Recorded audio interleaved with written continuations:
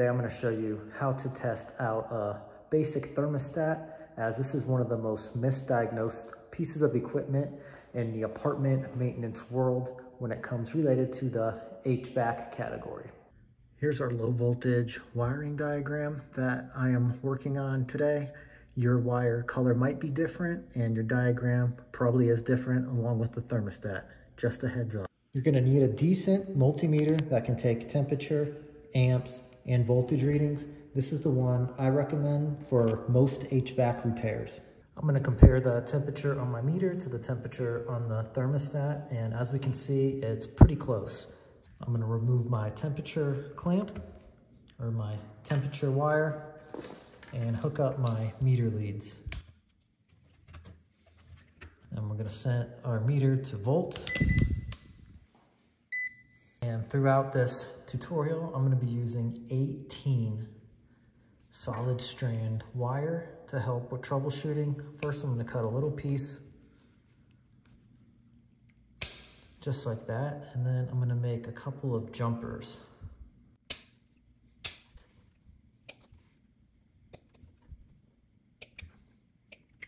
We've got our blower door switch right here. This is actually killing power to the unit, so that's what I got this for. I'm just gonna push this in, and I'm gonna stick the piece of metal right in there. Not too far though, or you can shock yourself. Just enough to keep that switch in the closed position. And you can also use this magnetic blower door switch if you don't feel comfortable sticking a bare wire right in there where you could get potentially shocked. Just pushes up against it and keeps that blower door switch shut or in the closed position.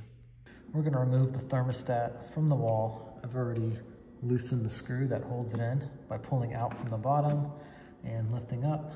This thermostat has a yellow wire, which is for the compressor. Red is our main power coming in. This is our common. Common's not always hooked up, but it is in this case. Never touch common to red. If you touch common to red, you're gonna short out the transformer or the fuse.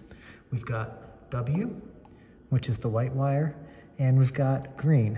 Green is for fan in this case, white is for heat or the Taco pump. First thing I wanna do is make sure that our transformer is good. And the first place I'm gonna test is from common to red.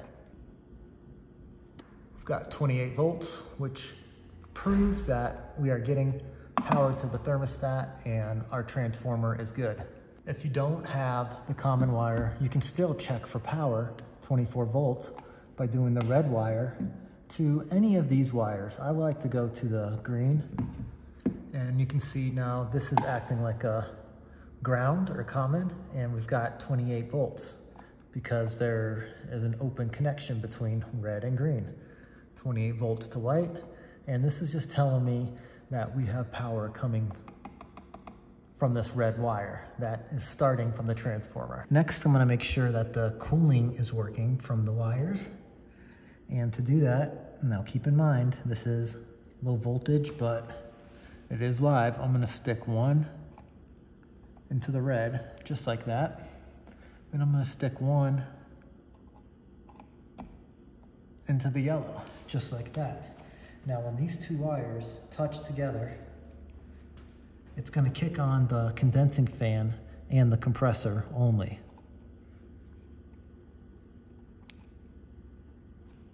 And I can hear the refrigerant flowing through the TXV and our suction line is getting ice cold. So our wires up to the condenser are good. I wanna make sure that our fan is good.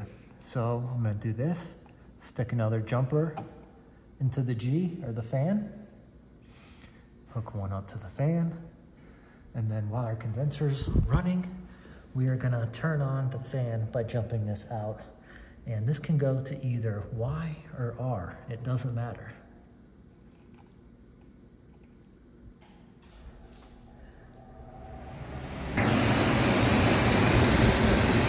See that our fan is now running. I'm gonna go ahead and remove power. from the fan and I'm going to remove the power from the condenser. Next thing I'm gonna jump out and test is gonna be the heat, which is W. This is gonna energize our Taco pump when we connect red to white.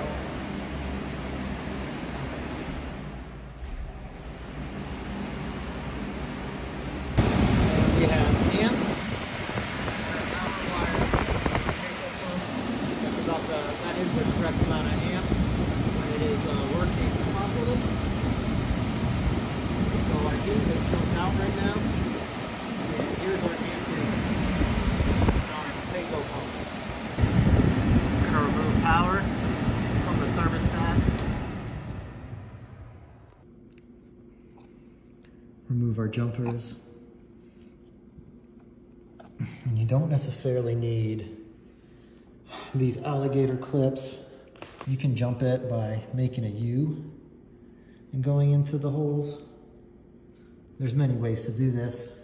You could use these mag jumpers, which are magnetic and stick to the terminals sometimes. But if you're able to pass all those tests by bypassing the thermostat, then it's still, and if it's still not working, it might be that you need to replace the thermostat, but there's other things that you need to check.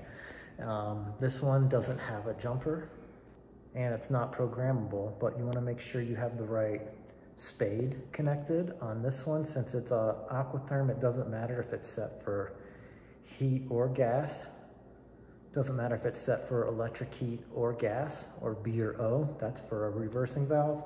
But if you have like the newer Honeywell digital, you wanna make sure that it's programmed for what type of system that you're using.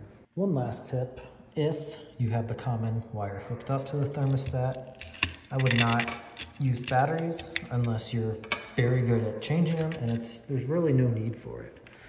What happens is the batteries will go bad, they'll create acid and actually can short out the board inside the thermostat itself. That's gonna do it for today's episode. Let me know if you liked this video or hated it. Thank you so much for watching. My name is Dave. See you on the next one.